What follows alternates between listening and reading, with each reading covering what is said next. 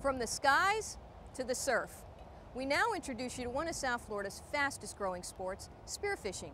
Celebrate South Florida's Angela Sacitano takes us on a ride to one of the area's most lively, where people not only swim with the fish, they hunt them.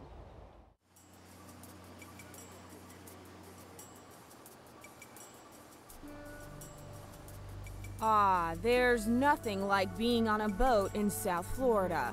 The cool breeze, salty smell of the Atlantic, not a care in the world as you coast along the water. But if you prefer a little action, then under the water is where you might want to be. Spearfishing is Fort Lauderdale resident Adrian Winchell's life. It's hard to explain all the different emotions and physiological things that go through your body. To some, Winchell might seem like the ultimate daredevil diver. Spearfishing now for more than 30 years, he ventures the ocean with just a spear, his mask and fins. Absolutely no tank, holding his breath the entire time, all while hunting most cunning creatures. There's absolutely no way that you can outswim a fish.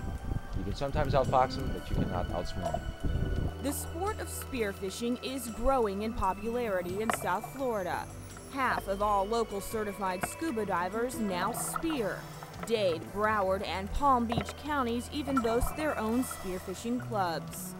Today, we're getting a clear picture of what the sport is all about and also ending some of the misconceptions. But before we get to this,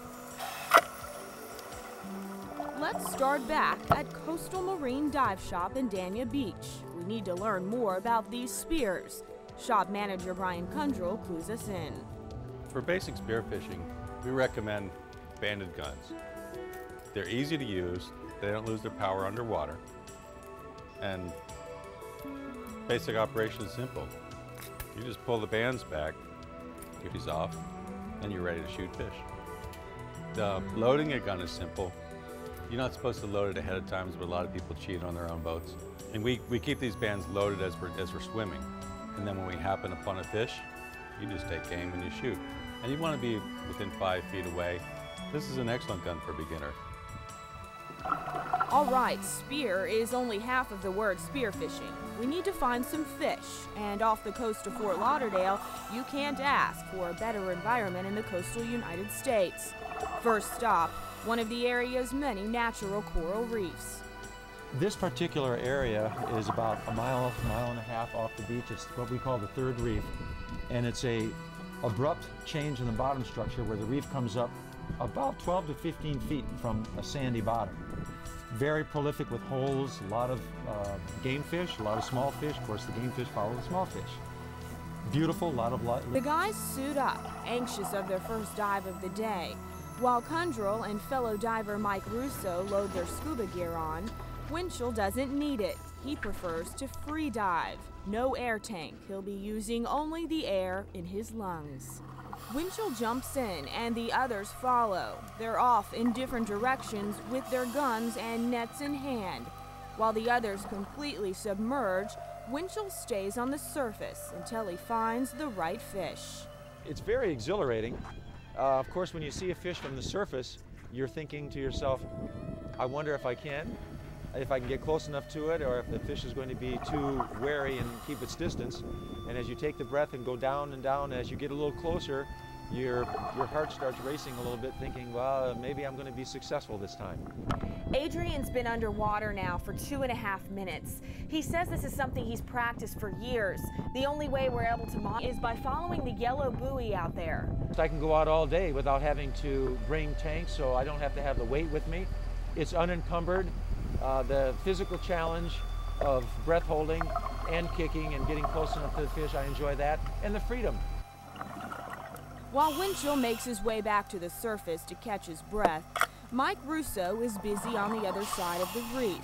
With his tanks, he might swim a little slower, but he has the luxury of staying under longer, and the patience pays off. We probably had 30, 40 foot of visibility on a horizontal plane. Um, the current was rather strong, and you, could, you can identify that because of the amount of sea fans that are being bent over. So in order for the spear fisherman to spearfish, he has to swim into the current just as a fish would. It's a lot, it's physically a lot more exhausting. After about 45 minutes, the guys make boat, take their fish out of the bag, and get them quickly on ice. A few snapper and hogfish, but not as productive as they would like. Two nice fish, probably uh, mutton snapper in the five to six pound range, and the grouper eight to ten pound range. It was nice. You don't always get everything that you see. The perk of diving in South Florida is that if one reef isn't giving you what you want, you simply move to the next.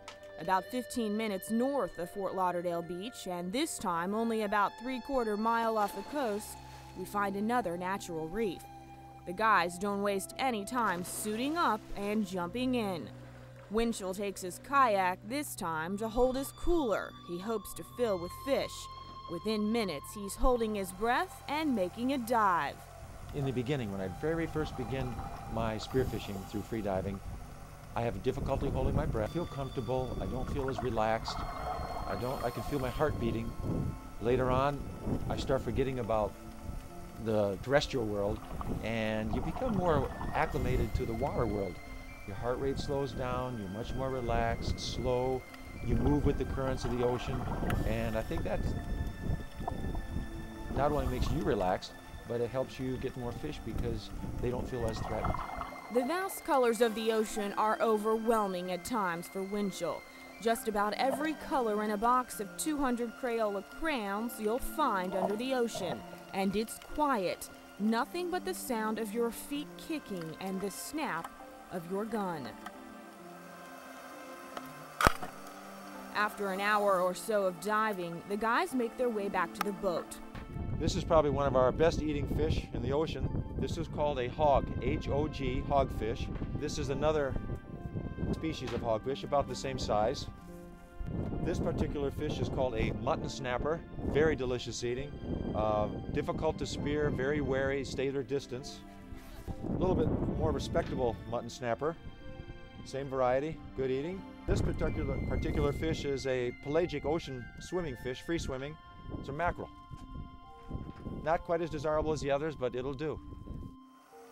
The beauty of it all. It's what Winchell says it's all about. People, this, it's always not what I come back with. Even if I go out there and come back with very little or nothing, it's almost as if I paid my admission to SeaWorld and was there all day.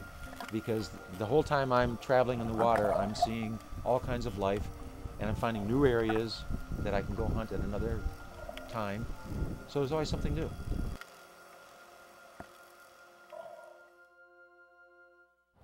Those guys may not have come back with much, but they assure us that it's here at the end of the day, but the experience of being in one of the Earth's most mysterious places that has them hooked. For more information on spearfishing or to schedule a trip, contact Coastal Marine Dive Shop in Dania Beach 954 923 2388.